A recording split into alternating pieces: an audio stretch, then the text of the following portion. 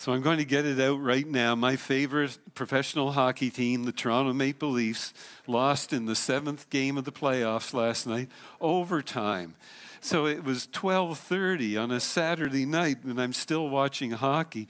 So I need to find a sport where they play in the daytime, and then I won't be affected so much. But today we are going to look at Esther. And this is a woman who said yes to God in spite of the fear in her life. And today I'm going to try and do the impossible. We're going to go through all 10 chapters of the book of Esther in less than 30 minutes. And this is one of the most fascinating stories in the Bible because, and, and I want you to make some applications as we go through this as well. So, Esther's a unique book because it's one of only two books that were written in the name of a woman in the whole Bible. But the biggest distinction is that in this book, there is not one mention of the word God. God doesn't appear anywhere in the text. And you're thinking, oh, isn't this the word of God? Shouldn't we be reading the, God's name in this? But don't be fooled. While the name of God isn't found, the hand of God is seen all throughout this, weaving in this story. Now, I'm going to introduce you to the five main characters. And the first character is Xerxes, and he's king over all Persia.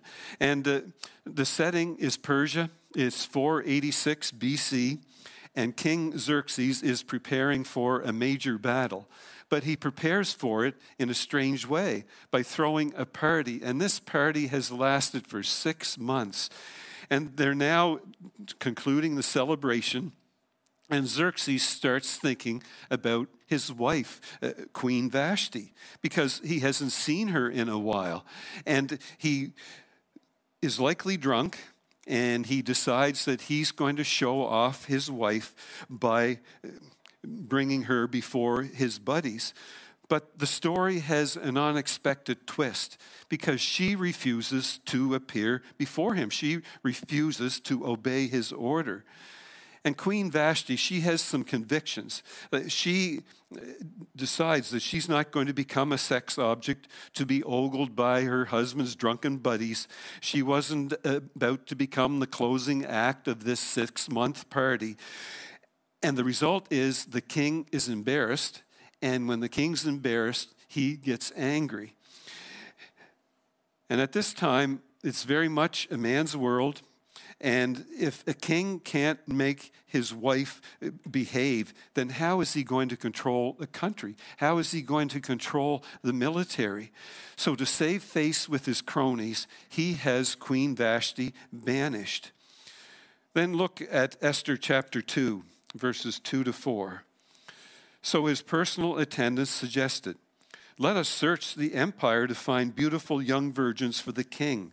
Let the king appoint agents in each province to bring these beautiful young women into the royal harem at the fortress of Susa. Hegai, the king's eunuch in charge of the harem, will see that they are all given beauty treatments. After that, the young woman who most pleases the king will be made queen instead of Vashti. And I love this next phrase. Uh, this advice was very appealing to the king, so he put the plan into effect.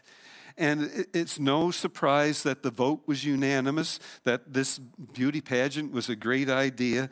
And I'm sure that all the men in his group of advisors, they were volunteering to be judges at this beauty pageant. So the most beautiful women in the whole empire were brought to Susa. Now, Susa is what we now know as modern day Iran. And they are all brought for this beauty pageant of all beauty pageants. And this is where we see that invisible finger of God start to move. And guess where it stops? It stops at this young woman by the name of Esther. Esther was a Jewish girl, and she was an orphan. She was probably somewhere around 18 years of age. But she continues to advance through round after round after round of this beauty pageant. Uh, she breezes through the talent section. Uh, she has no trouble at all with the swimsuit and the interview portions of this pageant. And then eventually, out of all these other young women representing 127 provinces in the country of Persia, she is chosen. She catches King Xerxes' eye and maybe even his heart. And Esther becomes the king's wife and she becomes queen of the country. Now, one of the greatest characters in this book is Mordecai. So let me tell you about Mordecai. Mordecai is an older cousin of Esther, and he actually took Esther into his home and raised her as his daughter when her parents died. And he also becomes a government official. He too is Jewish, but you need to know that there's a secondary storyline here, and it's kind of being interwoven throughout the book. And that is the fact that Mordecai was around the palace one day and he overhears an assassination plot by two of the attendants, actually, for the king. So he intercedes and he quickly relays the details to Esther. And Esther then tells the king, and the king's life is spared. The bad guys are put to death, and Mordecai's name is written down in the uh, Chronicles so that someday he will be honored for his efforts. But there's one more character that you need to meet, and this is Haman. Haman is conniving, he's underhanded, he's egotistical, and those are his good qualities. And, and, this guy is Xerxes' number two man, and he's a deceiver. He, he loves the attention. He, he asks that everybody that comes into the palace would bow down to him. He's not even talking about the king, but you bow down to me. And Mordecai's not going to do that because he's Jewish and Haman is an Amalekite, and these two uh, races of people are enemies of one another. And secondly, Mordecai was Jewish, as I also mentioned, but they stood in stark contrast to the rest of the world because the Jews believed in one true God. So they'll bow to God, but they won't bow to any other person or image. And don't miss this part. Mordecai's refusal to bow down sparks an outlandish response. And Haman, with his wounded ego, he comes up with this evil plan to get rid of Mordecai. But you can tell how angry he is. This plan goes beyond getting rid of Mordecai, but he is going to get rid of all the Jews in the country. So, this is going to be an ancient holocaust throughout all of Persia. So, Haman presents his devious plan, and in a weak moment, King Xerxes signs it into law. Now, Haman feels that he's going to get the last laugh here. And Mordecai hears the news, and, and, he's afraid for the Jews. These are the chosen people through which our Savior would one day come. So you need to understand that when Esther came into the palace, Mordecai advised her to not tell anyone that she was Jewish because it could cause problems for her. So now, here is Mordecai sending words to Esther he says, You're going to have to do something. You're going to have to intervene here. And Esther's response is, That's easy enough to say, but not so easy to do. The king hasn't called me into his presence in a month now. And the insinuation is she's afraid that the king has now found another woman and she has lost favor with him. And back then, the queen was more of a showpiece, and she wasn't a, an equal partner whose opinions were valued. And Esther knows the law.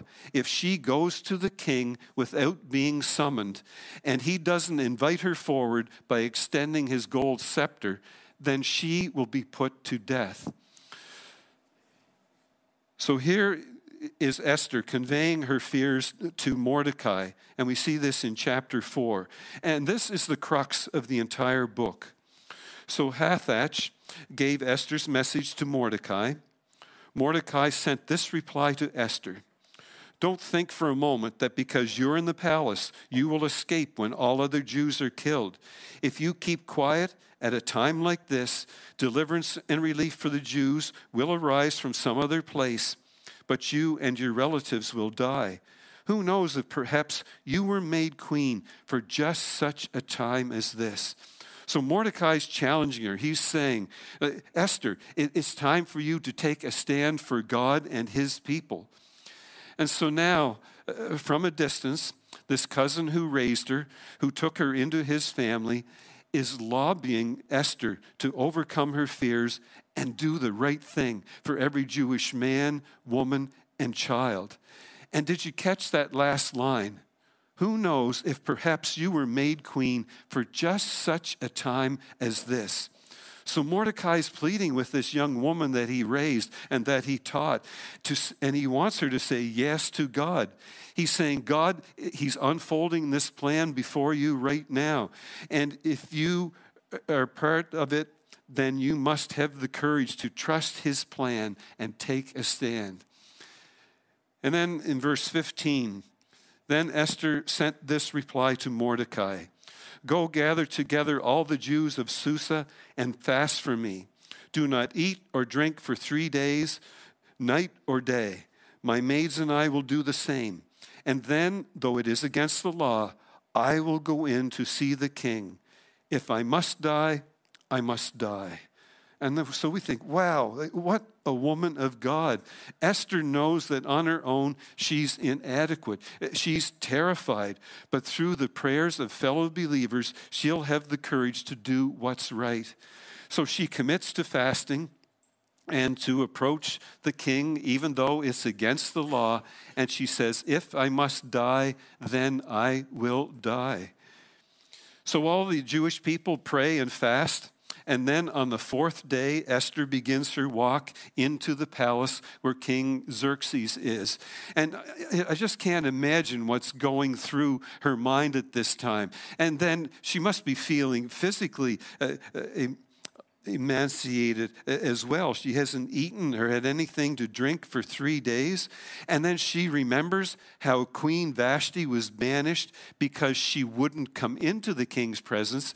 So, what can happen to me if I come into the king's presence unannounced and uninvited? So, she walks up to the throne, hopeful that he's going to extend that scepter and not his sword. So we pick up in chapter 5. When he saw Queen Esther standing there in the inner court, he welcomed her and held out the gold scepter to her. So Esther approached and touched the end of the scepter. Then the king asked her, What do you want, Queen Esther? What is your request? I will give it to you, even if it is half the kingdom.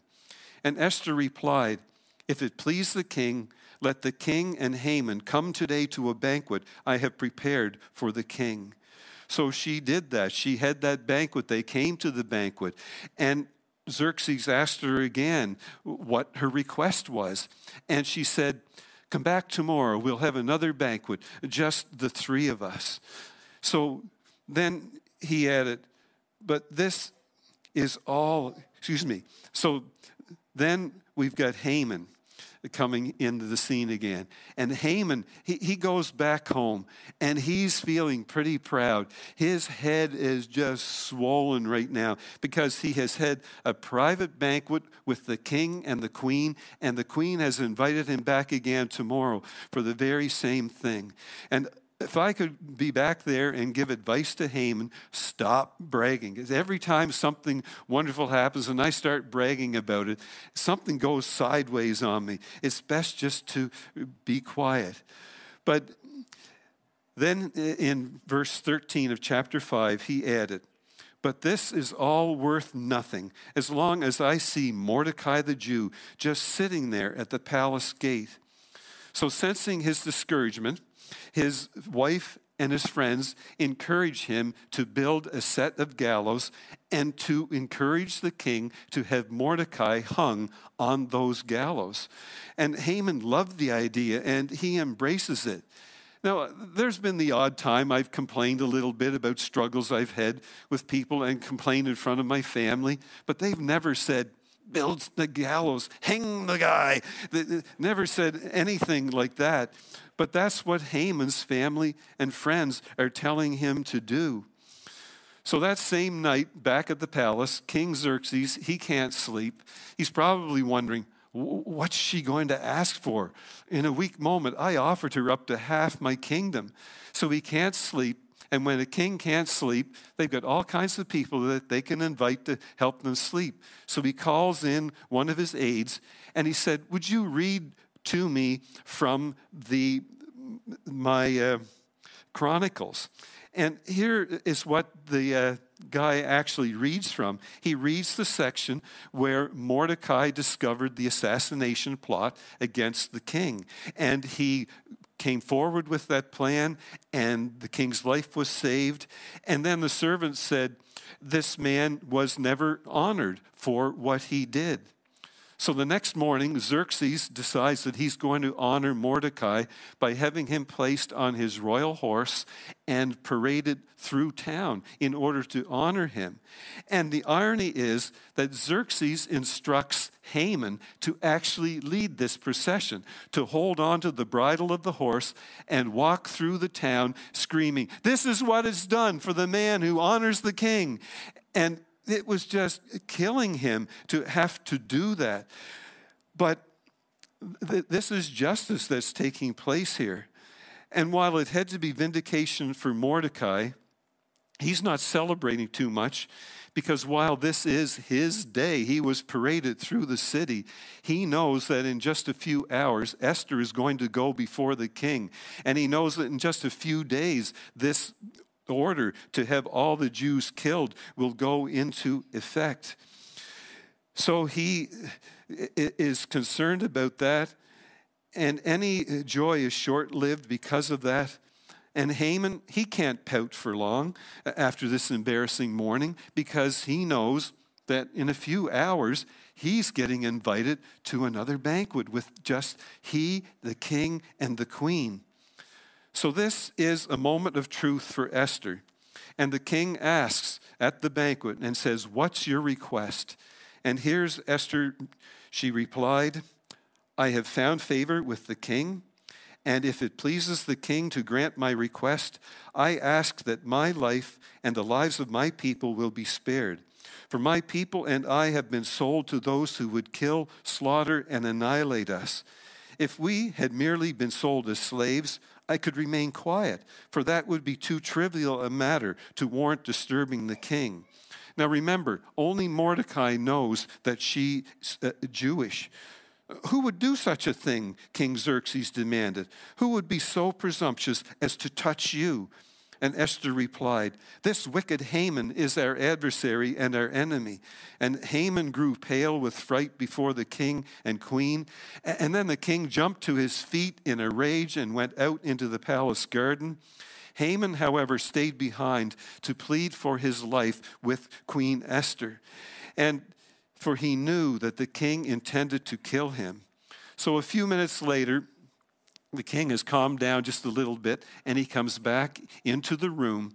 And just at that exact moment, Esther is reclining on the sofa and Haman is falling onto the couch as he begs for her life. But again, God's timing is perfect because when the Xerxes walks in from his vantage point, something uh, inappropriate is taking place. So the king exclaimed, "Will you even exalt the excuse me, assault the queen right here in the palace before my very eyes?" And I love what happens next.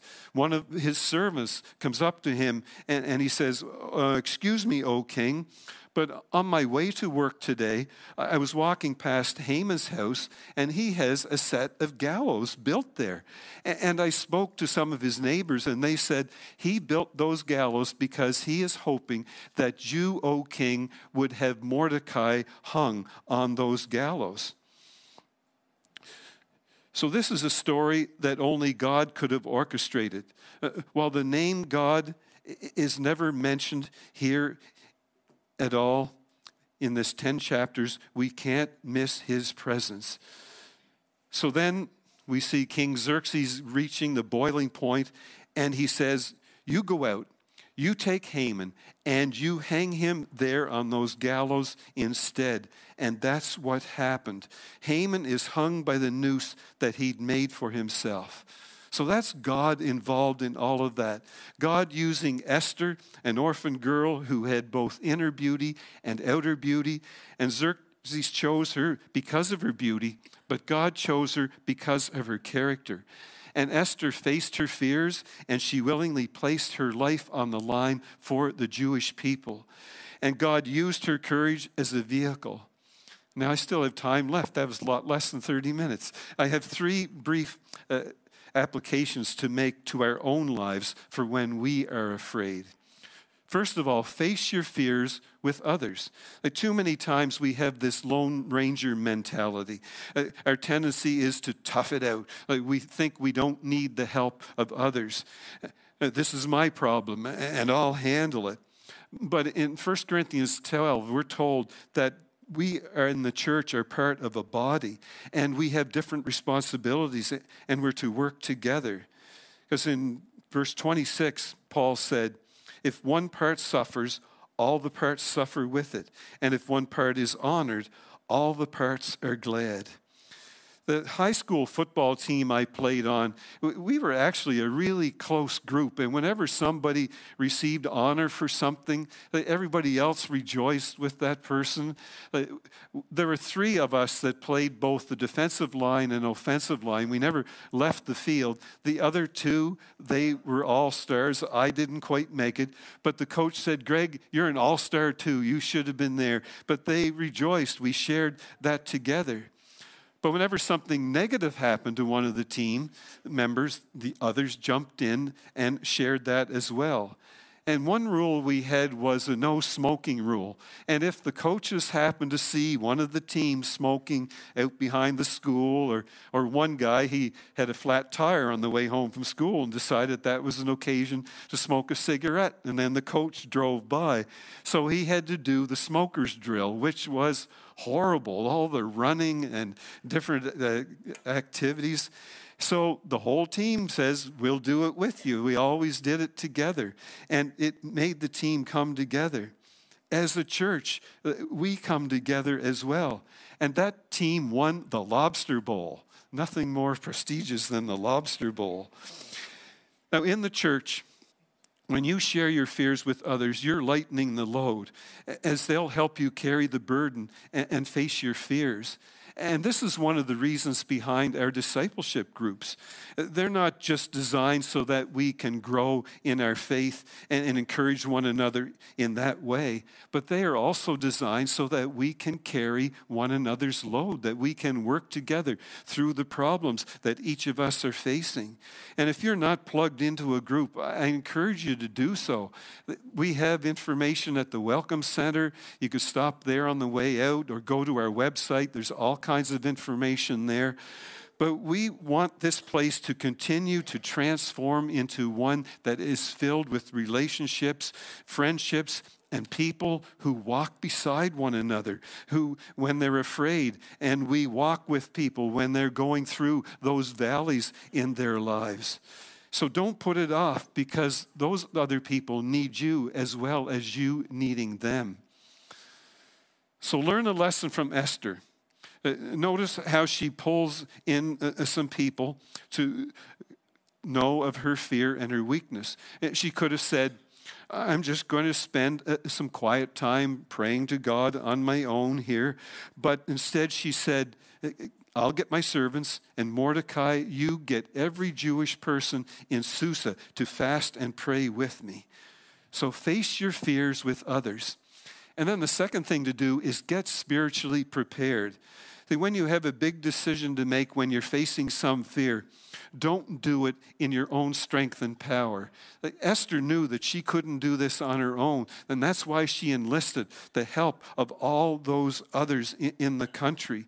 And this was a big thing. And she expanded the way she approached it. She didn't just pray, she also fasted. And when a person fasts from eating physical food over a period of time, it, is a time in which we then fill that time that we would be eating with prayer and communion with God. And our stomach might growl, there might be some hunger pains, but they serve as reminders that we just turn things over to God and talk to Him.